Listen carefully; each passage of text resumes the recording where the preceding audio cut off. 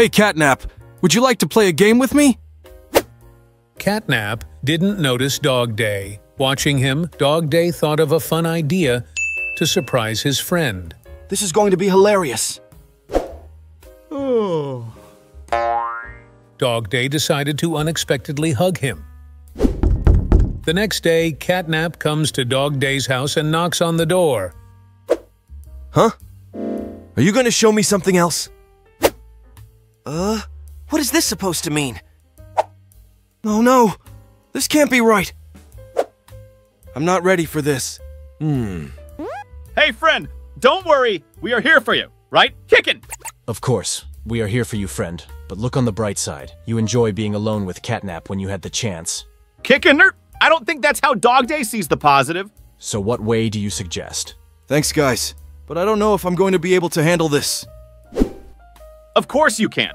Look, being a father is one of the most beautiful things that happens in life. And Catnap needs your support at this time. I know, Bubba. I'm excited and at the same time scared, because I didn't expect it. I had to have taken some protective measures. If you should have done it, but you already screwed up, there is no turning back, but maybe there is a solution. You can get rid of the child and... Hmm? Did you hear what I said? Walk away if you don't mean it. Catnap, I'm serious. I want to do this because I love you and our baby. I love you, Catnap, but I need to know if you want to have a family with me. Ascent, I've always wanted this with you. In that moment, Dog Day showed Catnap his true feelings Mm. without words.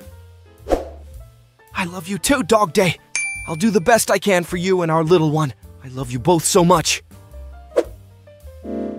Well, that this is unexpected. Kickin, let's give them some privacy.